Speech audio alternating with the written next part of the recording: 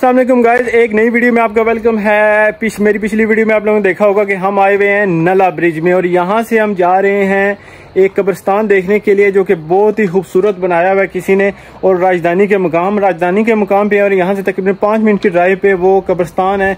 और इससे पहले मैंने सिर्फ़ वीडियो में देखा और आज जाके बजाते हो देखने वाला हूँ। ये बिल्कुल, ये ऊपर कोटली रोड जाती है और इसके बिल्कुल साथ ही नहीं कि मेन कोटली रोड पे ही है। सुल्तान और नुमान इंतज़ार कर रहे हैं और जल्दी से हम चलते हैं। चलें? चलो। चलो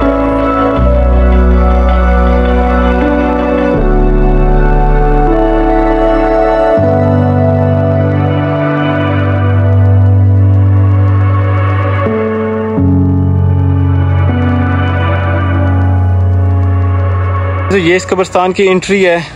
और यहाँ से कब्रस्तान में इंटर होते हैं। इस साइड भी बाग बनाया बहुत ज़्यादा खूबसूरत। और ये है जी, उस साइड पे कब्रें। हैं ये सबसे पहली कब्र है, जो कि आप कह सकते हैं कि बानी कब्रस्तान। जिन्होंने इस कब्रस्तान को रखा, इसकी बुनियाद रखी, इसको बनाया।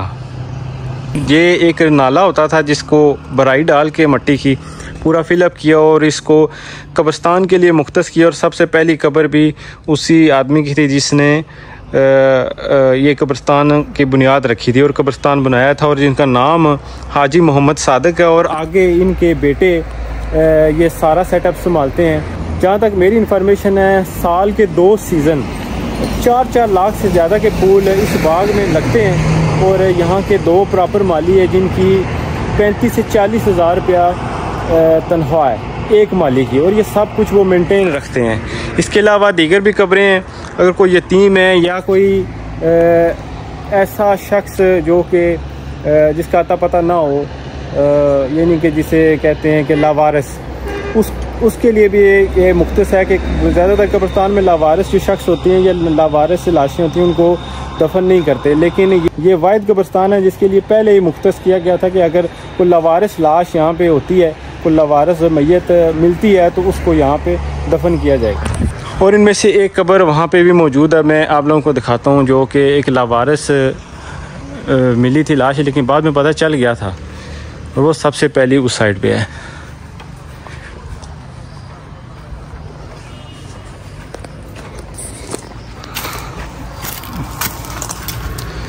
ये है जी, ये लिखा हुआ भी है, अजनबी मकतूल।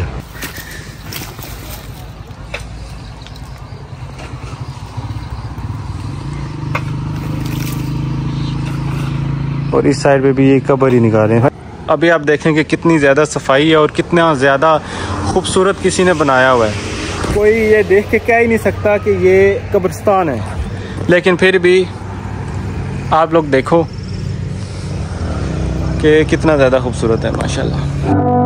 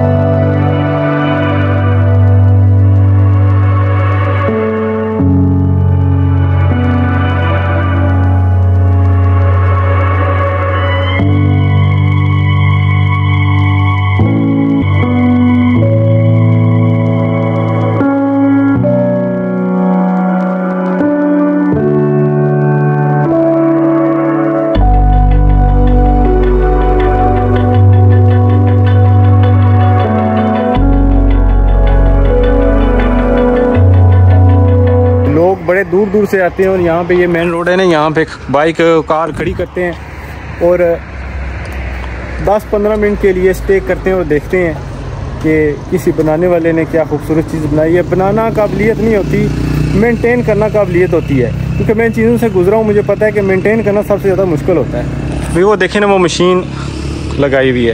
वो घास इतना मैदान है, इसको घास हर रोज़ कितना कचरा प्रोड्यूस होता है और कितनी ये मेहनत वाला काम है।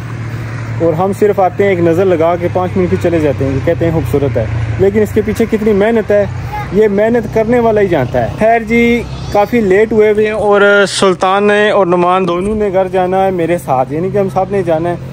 मुझे उम्मीद है आज की वीडियो मेरी आप लोगों को पसंद आई होगी। अगर आप मेरे चैनल पे नए हैं तो चैनल को सब्सक्राइब ज़रूर करें। गबरू भाई को दें इजाज़त, क्योंकि यहाँ से हमने जाना है जी, पलाग का पुल देखने के लिए, जो कि रास्ते में ही पड़ता है। हमारी कोशिश है कि जल्द अज जल्द वहाँ पे पहुँचे उसके बाद घर पे मारे एंट्री क्योंकि प्यार से भी बुरा आलम समझा एक सर्दी है, लेकिन सर्दी नहीं है थोड़ी सी गर्मी लगी हुई है। और तबीयत भी मेरी कुछ ऐसे ही है। है जी, चलते हैं, बहुत ही खूबसूरत जगह है। चले सुल्तान। बोलो भाई